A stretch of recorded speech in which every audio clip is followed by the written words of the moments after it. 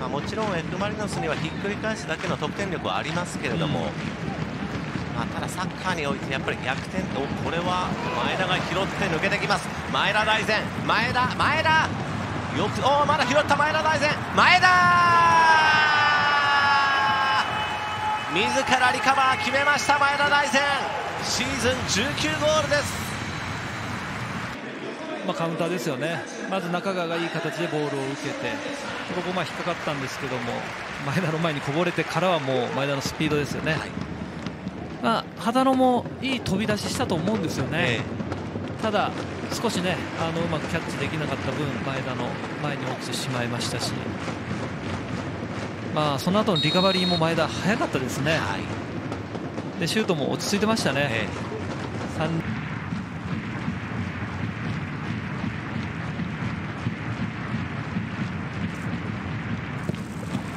ました。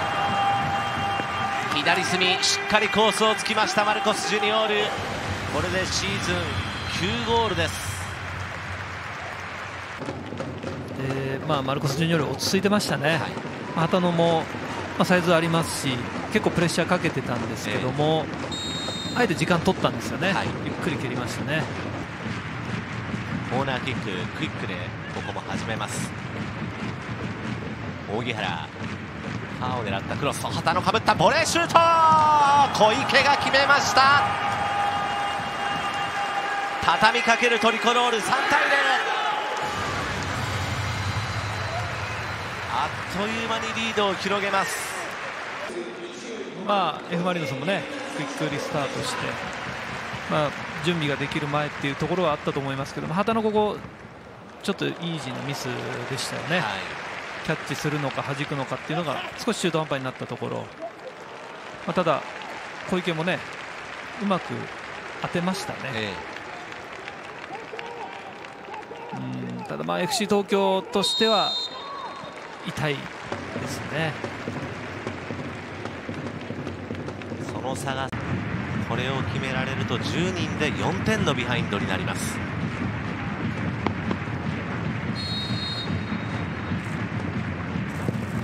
決めました。シーズン20得点達成前田大然ゴールランクトップを快走します。前半の41分で4対0あど真ん中じゃなかったんですね。そうですね、うん、まあ、ただインステップで思い切って蹴りましたね、はい。まあ、その先にどうしても10人ですから味方がなかなか置けない FC 東京です。ヒラトンクロス。前田大然。ハットトリック達成前田大然。あっという間に5対0です。後半開始早々さらなる追加点が生まれました F・ マリノス、はい、今シーズン2度目のパットですまあ、うまく東の背後ですよね、マークつかれないところをポジション取ってで畑野の前ですねあのポジション取りも素晴らしかったですしまたヘディングもうまく合わせましたね。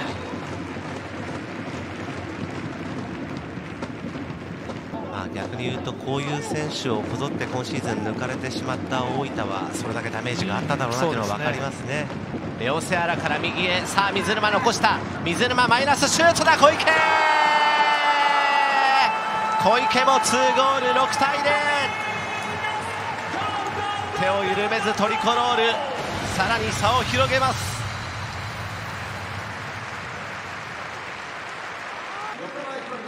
まあ、最初はやっぱ前線からのプレスですから。マルコス・ジュニオールですかね、そこがプレスかけて、そこからボールを奪って、カウンターの形ですよね、えー、まあ、レオ・セアラも落ち着いて水沼見てましたし、まあ、小池もサイドバックの選手なんですけどよく入ってきますね、はい、本当に。素晴らしいゴールですね。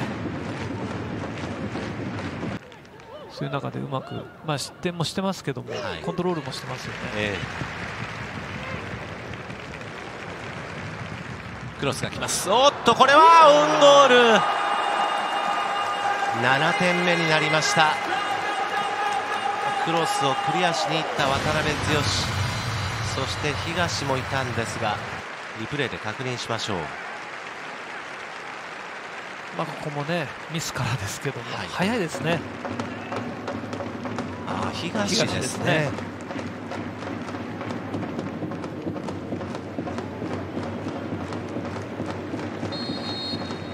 まあ、水沼もいやらしいところに入れましたしね、はい、ここに前田ですか、入ってきてる分、東も難しい。これはうまく入れ替わって小池右のスペース水沼。水沼行く。水沼交代!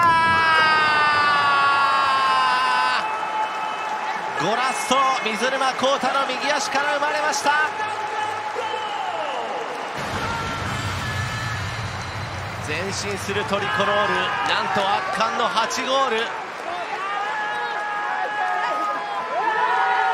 迷いなく振り切り、まあ、中使うかなと思ったんですけども迷いなく振り切りましたし、はい、まあ、ニアのところ素晴らしいシュートでしたね、えー、多くあったんですが今日は逆に浦和の方が2点リードでここまで来ました。前田大然へ浜野さらにはエベルから前田。前田が持っていって中パー水沼マイナスデオセアラ1点返しました。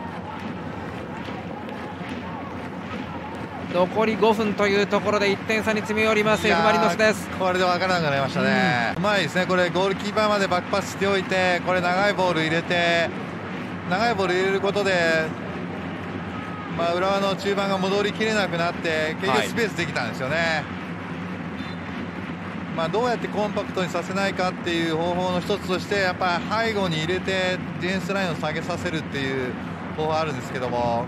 スリサンペールそしてイニエスタのところはねかなりこう見られてますから。そうですね。どうしてもね中盤をこう省略しながらの攻撃になってるんで、はい、イニエスタがボールを触る回数が極端に少ないですよね、はい、ここまでね。そうですね。お前田大然来た前田大然これがあります。ゴールイン。横浜 F・ マリノス先制前田のスピードいきました。一瞬の隙。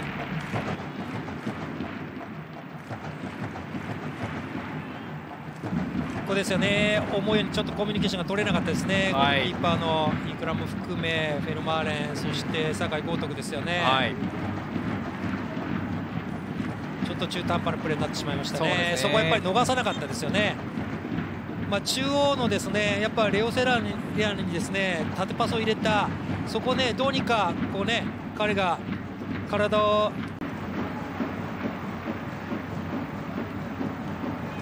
倒した木田。そして中川。小池が右走ってきている。その小池を使う。小池切り返してここからマイナス。そして中川シュートだ途中出場中川大きな得点。追加点入ります横浜 F・ マリノス。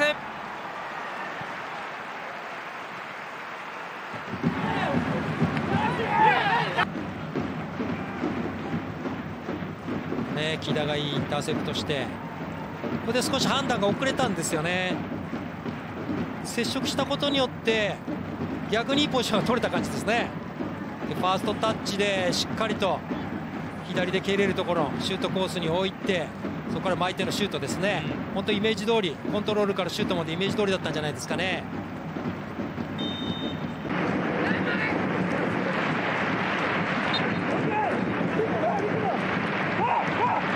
エウベルボール以来へレオセア前田大然